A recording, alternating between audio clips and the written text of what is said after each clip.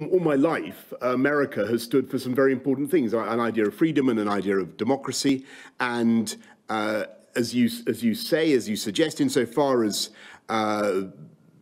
in, he encouraged people to uh, storm the, the Capitol, and insofar as the, uh, the president consistently has cast doubt on uh, the outcome of a free and fair election, I, I believe that that was completely wrong. I think what President Trump has uh, been saying about that has been uh, completely wrong, and I, and I un unreservedly uh, condemn uh, encouraging people to behave in the disgraceful way uh, that they did in the Capitol. And all I can say is I'm very pleased that the president-elect has now been uh,